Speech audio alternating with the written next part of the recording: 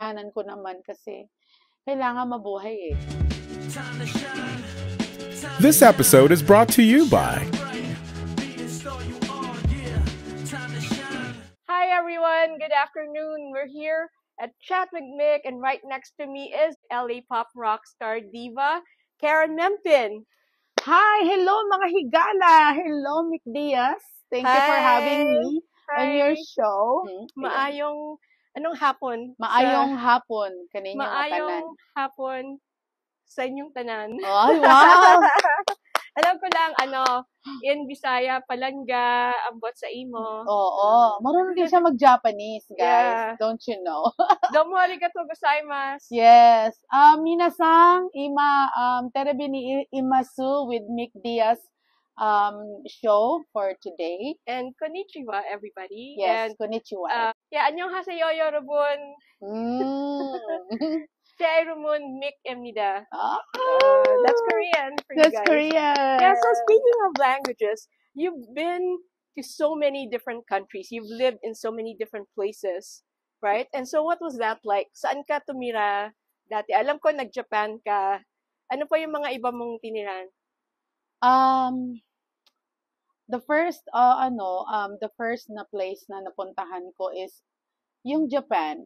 Pero yung sa Philippines, sa Davao lang talaga ako pumunta. And then after that, I went to Japan um, for my um, singing career. Ayan. At saka nandun din ang lola ko. Kaya, nandoon ako para magtrabaho para sa sa life namin ng family ko. Kasi, yun, alam mo na yung mga struggle, kailangan mong mabuhay, kailangan mong magtrabaho. So, ayun, Japan is a very nice place. Sa Yogoken, Osaka, Japan yon guys. So, ilang taon ka noon?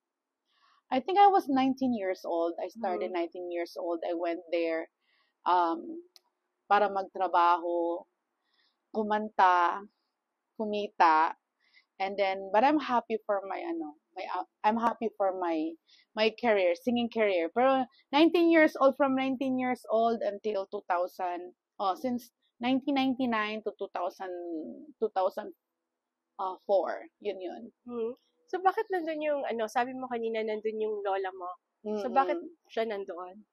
nandun yung lola ko be- because um yung mother ko kasi may um Japanese na na ano na blood tapos yung lola ko doon kasi dati nakatira pero patay na yung lola ko and then so pero pero hindi ko hindi ko ako tumira doon sa sa bahay na yun dahil nagpunta lang ako para magtrabaho so ayun yun ang Mm-hmm. So, ah, would you say, ano, part Japanese ka? part Japanese sa mother side ko, and then Spanish naman sa pa- father ko. Pero hindi ako maganda. maganda lang ang puso ko. Charot. At yun ang pinaka number one. niya, syempre, di ba? Yes, yes. Yun yung pinaka important. Hindi, tama-tama lang. Sa maka-appreciate dyan, thank you so much. So, what was life like? So, ano, so ikwento mo sa amin, ano yung mga ginawa mo sa Japan? Sabi mo, nagtrabaho ka. Mm. Ano yung buhay doon? ang buhay sa Japan, um, ano, ah, mahirap nung umpisa kasi because hindi pa ako masyadong marunong mag-Japanese. So, ang hirap makicommunicate sa mga sa mga Hapon, lalo na sa boss ko. Mhm. Pero buti na lang, merong mga nauna pa sa akin doon ng mga Filipino and they taught me how to speak more Japanese and then nag-aaral ako kahit kung ano yung mga salita nila, ina-absorb ko na para matuto naman ako. Tapos, yung mga food nila, ah, medyo iba sa Philippines, di ba? And then, um, ang struggle ko doon is yung um, mamimiss mo yung, namimiss ko yung family ko. Kasi um, matagal akong nawala sa family, family ko. Mga six months na hindi ko kinaya noon. Akala ko uwi na ako ng Philippines. Pero, Pero tumagal ka. tumagal naman. Nakaya ko 10 naman years? dahil yeah, nakayanan ko naman kasi kailangan mabuhay eh. Kailangan mo, Mhm. oo, mag, kailangan mo mag-support sa family. So, Yun yun. nung pumunta ka sa Japan, singer ka na talaga? Nag- Yeah, singer na talaga Did ako. you do other things? Meron ka bang ibang ginawa aside from singing? um, wala na, yung pagkanta lang talaga. So, I've been um, singing since when I was 8 years old. Uh, grade 1 ako. Kumakanta na ako sa sa school namin sa Butuan City sa Mindanao. Mm-mm. And then, hanggang sa nasanay, sumali ako ng mga, um, dati is, ano pa eh, mga, mga kampyon. Mang, ang tawag nun is, um, um, tanghala ng kampyon sa Mindanao, yung mga ganyan. Mm-mm. Tapos, kahit saan ako sumasali sa mga baryo-baryo, para lang magkaroon ako ng baon, at saka para masanay naman ako. Kasi, feeling ko dati hindi talaga ako magaling dahil hindi naman ako, ano, hindi ako nananalo. Pero sa, sali pa rin ako ng sali hanggang sa nasanay akong kumanta. And then, uh, hanggang sa nag-edad ako ng nag-high school ako, kumakanta pa rin ako sa eskwelahan, sa mga singing contest, ganyan ang buhay ko dati. Um, since nung namatay ang father ko nung 14 years old ako. Mm. Yun yung mga start ng struggle ko na talaga. Meron ba siyang ano, um, iniwan sa'yo na message or something na naalala mo para yun yung dala-dala mo pag kumakanta ka, kung, you know, nagpupunta ka kung saan-saan, dala-dala mo yon Um, ano, sa sister ko, meron.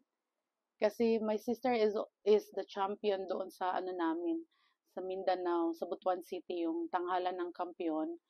Um, isa siya sa champion doon ng singing competition namin and um, sabay kasi kaming sumasali sa singing contest. Ako yung laging natatalo doon. ang ma- ang sister ko laging nananalo. So gusto kong magkaroon naman na ako naman yung mananalo. Sana lagi kong pinapangarap na sana manalo naman ako. Hanggang sa dumating yung time na lumaki na kami, yung sumasali pa rin kami kahit nag-high school. Pero nagkaroon ng time kasi na na nagkahiwalay kami ng kapatid ko. Dahil napunta na ako sa Davao City, doon na ako nag-aral, nagtrabaho, doon din ako kumakanta mag-isa, and then um, while nag-aaral ako sa araw, sa araw, nagtatrabaho ako sa gabi, ang sister ko naman sa sa Butuan City, doon naman siya nag-ano, kumakanta, nag-aaral, pinapaaral ko rin sila. So hanggang sa nangyari is namatay siya.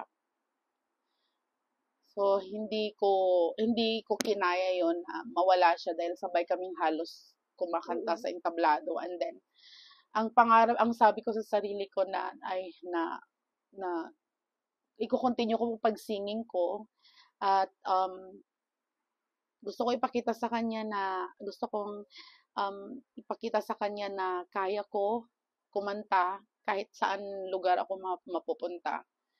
So, hanggang sa nakarating din ako dito, yun yung mga time na, yun naman yung time na namatay naman siya.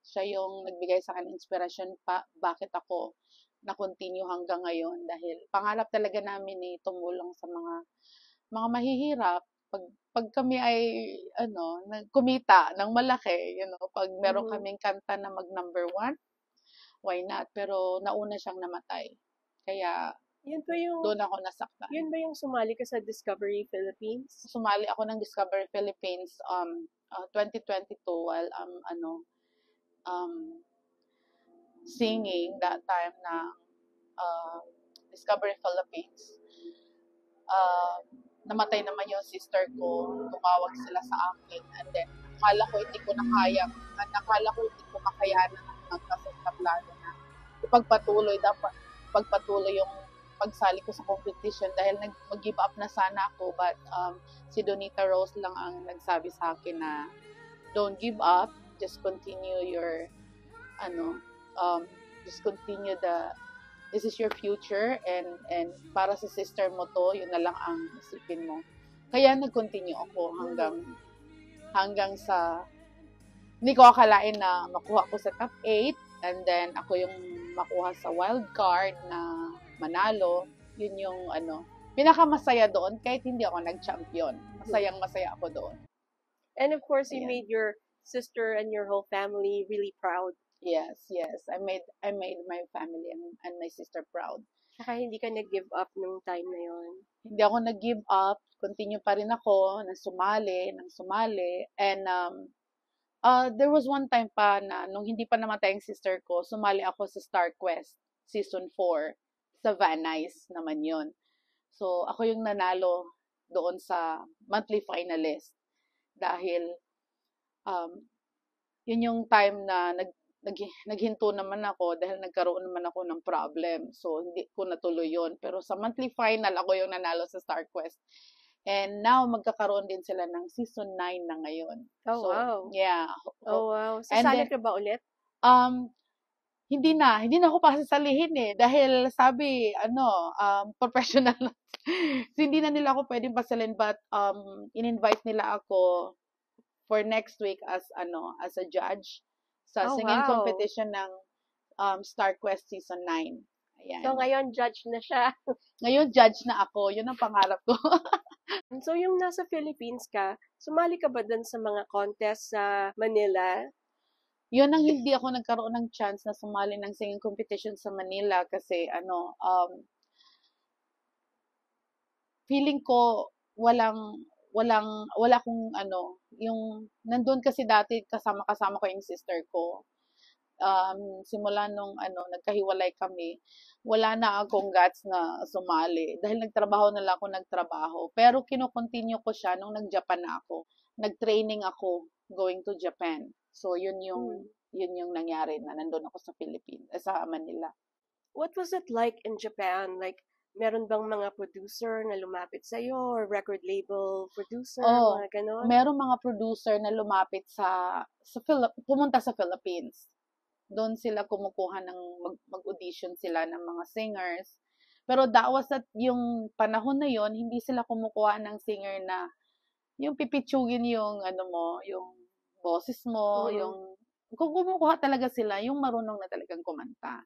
Kasi of course, they're gonna present it in in in front of their ano guests. And then Mhm. yung mga guest po na yun, hindi po yun mga pipitsugin din, mga mayayaman din ang guest doon. Kaya, kailangan, pag nandoon ka, kailangan maayos din ang pagkanta mo, presentable ka doon. And then, payat pa ako noon. Payat pa ako noon eh. Super Mhm. sexy pa ako noon. Pero ngayon, medyo, paano kaya natin ibalik yung kahapon? Balik alindog tayo pareho. so, magda-diet na po kami ni Mick, ano, Miss Mick Diaz. Starting yung- from now. Ayun. Starting today. starting, starting today. Ayun. so, yung yung mga kinakantahan mo sa Japan, bars ba yun, or restaurants, or as in an stage talaga sa theater? um, ano siya, um, launch. Uh, malaki siyang restaurant na may stage din. Mhm. So, hindi lang siya yung maliit na na ano, restaurant, malaki, malaking style na ano, malaki ang ah, restaurant doon sa Yo Yumo um Yumogi Lounge. Yan. Ano yung Yogoken. mga nagustuhan mo sa Osaka? Ang mga nagustuhan ko sa Osaka, ang food nila number one. Oo. food nila number one. Um, Anong favorite Japanese food mo? favorite Japanese food, lahat. Um, wow, number one is um, sashimi. And then, udon. Yun ang ano ko, gusto ko. At saka, um, ano pa, ah, oden. Yan ang gusto ko. Yung odeng nila, yung breakfast nila, guys. Ang sarap-sarap. Grabe. Pero lahat sa, lahat yun kinakain ko. Lahat yung mga pagkain nila kinakain ko. Pero ang number one favorite ko doon is sashimi. Yun. Anong Tsaka klaseng- nama liver. nama liver is the good one. Anong klaseng sashimi? Ah, salmon, Tuna, tuna, oo. Basta sashimi, basta wala akong problema doon. Kinakain ko yun. Naalala ko, di ba, kumain tayo ng raw egg na yung parang Oo, shot oo. na ano. Balik kaya tayo doon, Mick. Yes, Ang yes. sarap Sige, talaga doon. tayo. Ano? Ako na naman na mag, mag-invite kay Mick. Kasi before Sinabi mo yan, ha? We're Yeah, on record. we're on YouTube record, forever. YouTube. o kasi siya yung nag-ano sa akin. uh, may proof. Siya yung nag-ano sa akin before eh. Ayun yeah, yun. masarap yun, di ba? Yung parang Oo. shot na ano, Ito lang yun sa may ano. raw egg. Oo, dito lang yun sa may tawag ano. doon sa Japanese? an- ano, like, yung raw egg na sinasabi mo. Oo. Ay, nako, yun ang hindi ko masyadong tandaan. Kasi dito sa Amerika, iba na ang tawag nila eh. Mm-mm. Sa Japan is iba din eh. Nakapunta ka ba sa ibang lugar like Korea or Thailand or something? Wala akong, wala akong ano, So, after wala akong Japan- chance na nakarating sa mga, ano. After Japan, nag-States ka na? After Japan, nag-aral muna ako ng um, nursing assistant sa Philippines for one year. And then after that, nagpunta na ako dito sa US. Yun. At nag-start akong mag-work dito as a caregiver. Hindi ko kinakahiya yung caregiver because it's a, it's a good job. At saka, kumikita tayo doon. Ayan. So, so, So, what was it like? Nagkaroon ka ba ng culture shock or um, yung, paano yung mga first few months mo dito sa States? oh, marami kasi akong, ah, baka magiging maalaala mo kaya itong show mo ngayon kasi um, actually marami talaga akong abuse na ano um, nangyari nung napunta ako dito sa US. Di lang sa US, meron din sa Japan. Kaya um, yun lang ang hindi ko makakalimutan kasi you know, like akala ko pagdating ko dito sa US is very easy. Hindi pala. Kailangan mo mag-umpisa talaga sa una and then nahirapan ako sa language kasi the more you speak um, English to me, I reply Japanese. Ganun ako. so, hindi ako halos makapagsalita ng English. Ako na nag-struggle na naman ako. Parang nasa So, Japan. ma- Masanay ka sa Bisaya, Ma- sa Tagalog, tsaka sa Japanese. Kasi matagal Oo. ka sa Japan. Kaya, eh. oo. Kaya hindi ako masyadong marunong mag-English before. And kaya, ano, um, nag-aaral din. Um, um, natututo. At, and then, nag-struggle. Nag, naging um, independent. So, ayan. Ayun, nandito ako ngayon. Buhay pa rin ako. O, nagtatrabaho pa rin ako. Kumakanta. Ayan.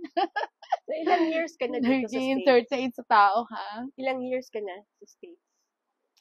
20 years na ako ngayon eh. Mga since 20? yes, 2000 I think since 2005. 'Di ba? Parang oh yeah, 20 years na. Malapit Almost. na. Almost. 19. 19. Isang taon na lang. Isang taon na lang. Oh my Lapit God. na. Tum- dito na ako tumanda ata eh. Ang, ang tagal mo na pala. So, ano yung mga... Ang tagal ko na. ano Kaya nga mga- gusto kong umuwi ano? sa Philippines. Kasi 20 years ako nawala sa Pilipinas. Ibang-iba na, syempre. Ibang-iba na. Lalo yeah. na siguro sa Butuan. Lalo sa na sa, Davao. yeah, lalo na sa Mindanao. Oo. So, ano yung mga nagustuhan mo dito sa States? Ano yung mga memorable experiences mo na magaganda?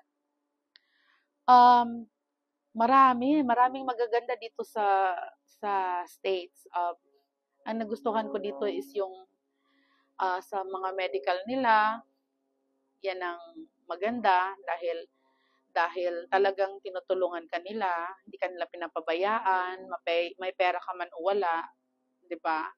And then um, I like the weather. Number one is the weather, Yes, and then especially here sa Eh, California. Yes, especially here in California, guys. Pumunta na kayo dito. Ayan. Tapos magpa-interview kayo kay Mick Diaz. Yeah.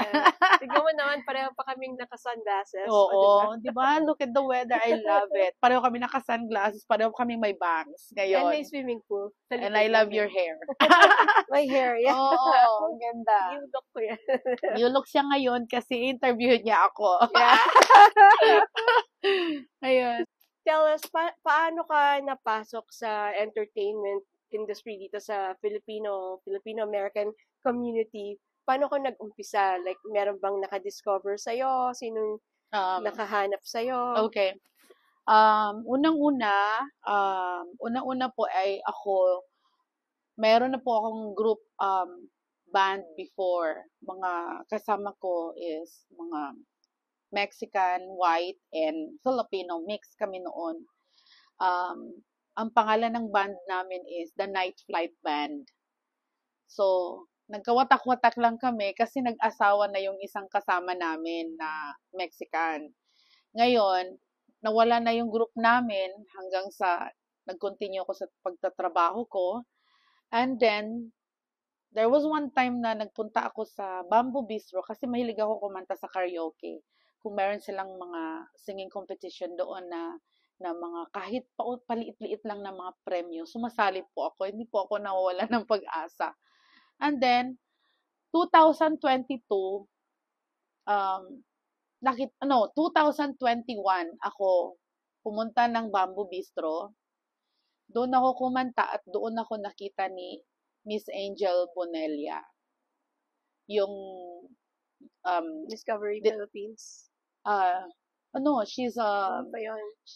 isa siya sa ano, isa siya sa sa The Voice USA, 'di ba? Yeah. Um so siya sa The Voice USA, champion ba siya o finalist? But anyway, ano siya?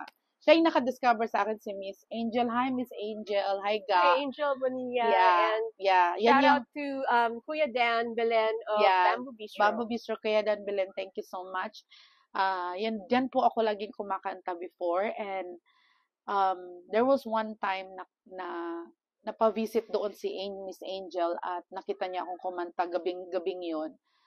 And si- narinig niya akong kumanta and she approached me na na sa Bisay sa sa Tagalog is like ayun na uy bakulaw yung boses mo can I um invite you to ano to be in the Discover Philippines singing competition um ako naman is nagulat kasi syempre hindi ko akalain meron pang maka, makarinig sa akin ng ganyan maka baka discover. And then ang sabi niya na this gonna be in 2022 pa.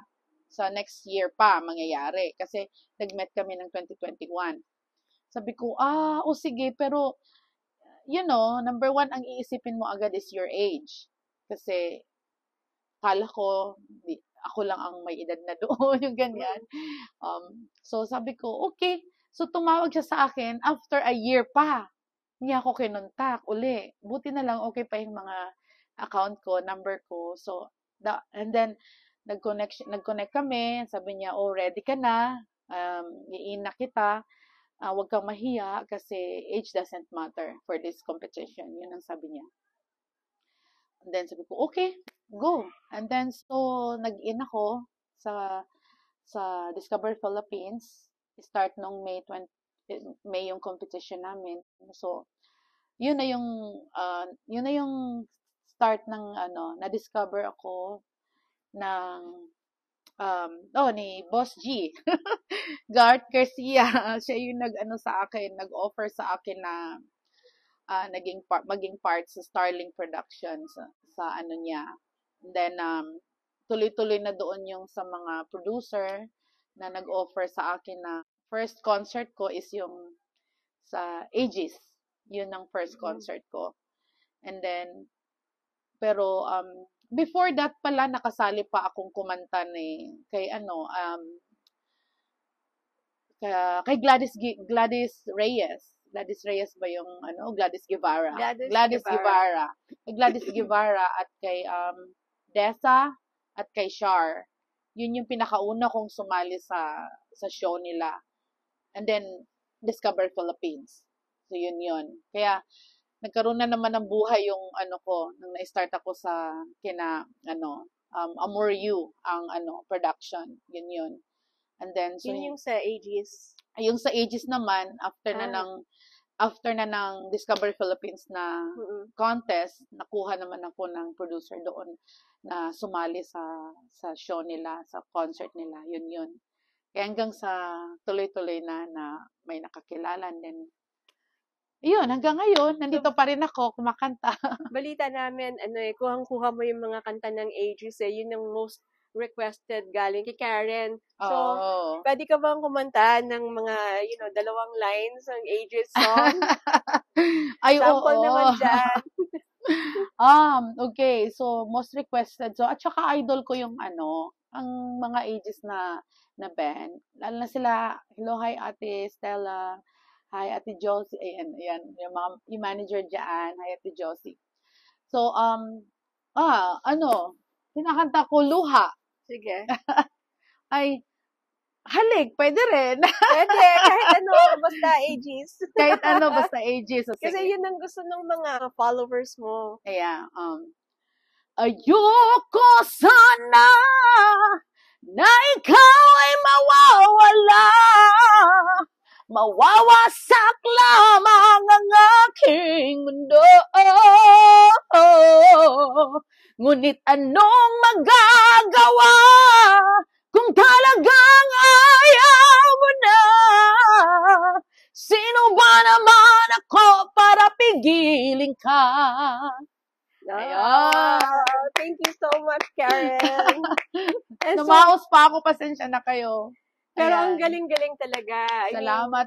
Yeah, Salamat. kung Meg. meron meron talagang mga followers yung ages eh, at, at saka talagang sinusundan ka nila kasi yung boses mo kuwang-kuha mo yung ages. Salamat, salamat. Pero mas magaling talaga sila. Gina, inako, mentor ko na lang ang gina, ginagaya ko na lang sila kasi idol na idol ko sila. Ayan. Sino pa yung mga favorite singers mo? Marami naman. Gusto ko rin yung um, Taylor Dane. Gusto ko rin yung um, um, Whitney Houston na mga songs. And then, kung ano yung magugustuhan ko naman, pinapractice ko rin yun. Um, Heart, Still Heart, yun ang mga pop rock song. May pagka-rockstar din, ganyan. Kumakanta rin naman ako ng love songs, mga ballad, ganyan. Pero hindi ako masyado sa super-super sa R&B. Meron talagang tao, no, na may ganun talaga, no? Kung ano talaga yung genre at like mo, meron talagang ganun. Mm. Ayan, di ba? So, So, sino yung pinaka pinaka pinaka pinaka pinaka paborito mo? Kumakanta din ako ng Japanese. Kasi sa Japan, sa Japan no, din Voltes yun naman. 5. diba? We, yeah, Voltes 5. And then kay Utada Hikaru, number one song. Yan, favorite ko rin yun. First Love. Ayan. And, uh, yun. So, kung ano lang yung magugustuhan ko, kinakanta ko, pinapraktisan ko. Gusto ko rin yung mga Imelda Papi na mga song. Eva Eugenio, mga ano natin, mga lumang kanta Classics. natin na classics, Classics na kanta natin. The yeah. 70s and 70s, 80s. yes, Diba? Oo, favorite Mga kasi ng mother ko, kaya hindi ko pabayaan na makakalimutan ko yung mga paborito niya, kaya kinakanta ko rin. Ayan. Yung sister ko rin, favorite niya yung ah, Do- Donna Cruz na kanta, kaya kinakanta ko rin yun dahil lagi, lagi ko siya naaalala pag kinakanta ko yun, hindi pwedeng hindi ako maluha, kaya kakantahin ko siya sa birthday show ko. Sa, Kailan yan? Oh, birthday show is on uh, March 29. Manood po kayo. Supportahan niyo po ako. Um, marami po tayong mga guest performers doon na magagaling, mga champion. Kagaya ni Miss? Jane um, Provido, Jane Provido, Emelda Bossing, si um, Gigi Star, um, Michael Jorolan, Savannah Volandino, and uh, si Renzo. Ayan. Isang ano natin, rockstar din. Ayan, magagaling yan sila. Meron ba tayong ano, mapapanood na duet dyan? Ay, meron. Meron pa mga another special guest dyan, ang ating Starling family. Like the Ah, champions. O, di ba? Christiani and si um, uh, Kevin Hermogenes. Yan. Sana nga nandito si Boss G. Wala si Boss G. di ba? Wala si Garth Garcia, the champion. Shout Ayan. out to Garth Yeah, Garcia. shout out Boss G. Promotion. Na nandun siya ngayon sa London. Or Italy. Nasa Italy na pala siya. Yes, sa Italy. Oo, ang dami po napuntahan. Mayaman. oh, Boss G, pasalubong ha. Ayan. Pasalubong daw. Oo. Oo. Ayun yan. So, ano pa yung mga nasa bucket list mo na gusto mo pa ma-achieve? Ang, um, ang, ba, ang sa bucket list na gusto ko pang ma-achieve, like for singing, you mean? So for singing, ang gusto kong ma-achieve is yung mag number one yung song ko. Na sana mag number one yung song ko na magustuhan ng lahat yung original song na coming out. Yung sana ay ikaw na nga. Yan yung um, gusto kong um, kasi may pangarap ako doon eh na pag nag number one siya, talaga, ang plan ko is yung makatulong ako sa mga um, mahihirap sa, nasa bukid po na nakatira. Kasi po, yung, every time makikita ko sa video sa YouTube na, you know, like, wala silang bahay, walang pagkain na maayos, you know, and then, ako yung nasasaktan, sumasakit yung dibdib ko at umiiyak po ako na hindi niyo po alam na ganyan ako na pagkatao. Hindi ako yung um, tao na, you know, na ida-down kita kahit ano. Ayoko ng ganyan na ugali. Gusto ko yung tumutulong ka sa kapwa mo. Kasi money is Hindi mo naman madadala yan sa langit. Yun ang, yun ang pinaka number one kong ini. Kahit hindi ako mayaman, makakain lang ako ng tatlong beses, makahiga ng maayos, ang family ko makahiga ng maayos, makakain ng maayos, and the rest of the money is goes to other people. Yun ang ang kay ang talagang gusto ko ma-achieve na ang, ang kanta ko mag number one. Mhm. Kasi yan ang pinaka happy happy na ako sa life ko pag nangyari yun, you know. Pero nag-help pa rin naman ako kahit paunti-unti sa sarili kong pa- pera. Minsan wala na akong pera, minsan konti lang pera ko pero naawa ka, bibigay mo pa rin. May mga maraming hindi ka kakilala na nag-aas sa'yo, naawa ka naman kasi makikita mo walang ulam yung pagkain ng mga anak nila, you know, ikaw nakakain ka na maayos dito, nakahiga ka na maayos. Why not, 'di ba? Kahit Mhm. 10, 20 dollars, 30 dollars, 'di ba? Ang sarap ng feeling ng tumulong. So, kung meron mga taong gusto tumulong sa birthday show mo, saan sila pwedeng magpadala ng tulong? Um, yun namang nag-ano sa akin, um, ibang nag-sponsor sa akin is, um, nag-sponsor sila for my birthday.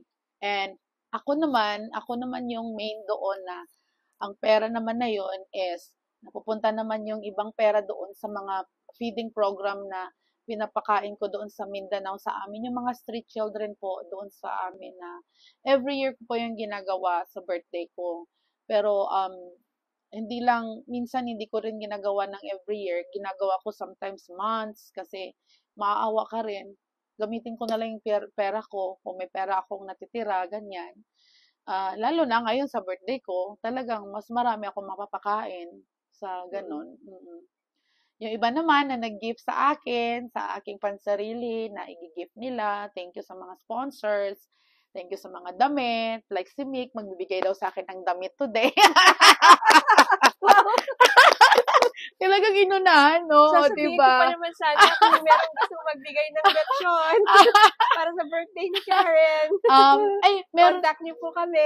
meron talagang nagbigay ng lechon. Meron na. Meron na. okay. Ang kailangan ko lang is tawagan ko mam- mamaya o bukas yung sa lechon kung pwede pa ba. Kasi ano eh, ah, Friday um, Holy Week eh. Pero malay mo, business eh. Malay mo mag, mag ano sila, open sila sa ganyan. Ah, So may nag okay. may nag-donate na ho sa akin ng lechon, isa sa kaibigan natin. Thank you MJ Saragosa. Salamat sa palitsyon. And also sa mga pa-cakes diyan, ayan, kay um ah maraming magbibigay ng pa-cakes pero ang hindi ko alam kung sino kasi ang alam ko lang na magbibigay eh mababanggit ko ngayon, o 'di ba? Pero pagka pagka may show na ako, may birthday show na ako, makikita ko doon kung sino nagbigay, ililista ko yon at ite-thank you ko naman sila. Kasi this time hindi ko pa alam. Ang alam ko lang yung mga nakikilala ko lang na magbigay. Mylene Fajardo, thank you. And ah, kay Irish Buwan, yon magbibigay daw ng pa-cake. Sponsors na na na close natin na nakilala natin sila Ate Rose and ah, Janet Blandino And so, and- imbitahin mo uli sila um, sa And birthday Ate show Mal, mo. yeah. Sa birthday show po, ngayong Friday na po, um, Good Friday siya, pero it's a blessings for me. Um, it starts a blessings. Uh, tinatanggap natin ang ang um, araw ng um, you know, that's that's so traditional kasi ginagawa natin 'yan, 'di ba?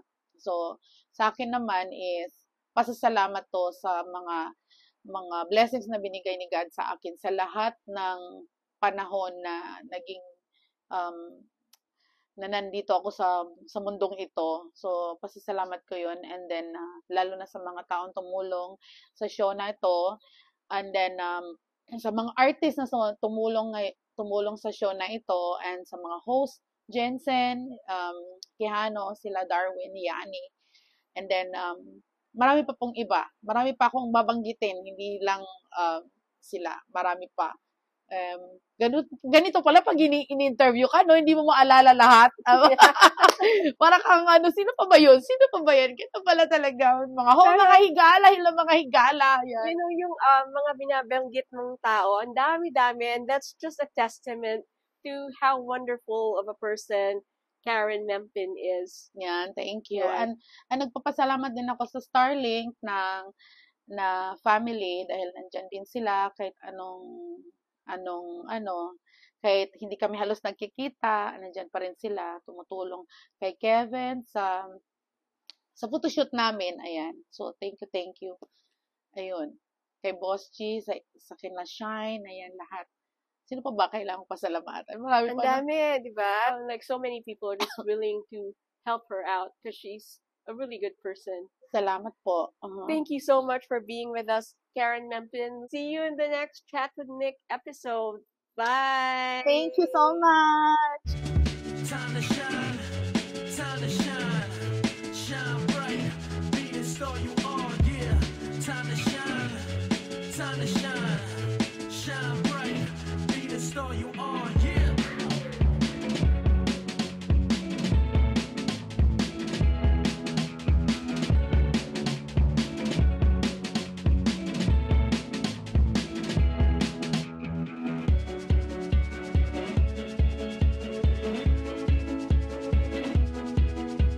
Don't miss out.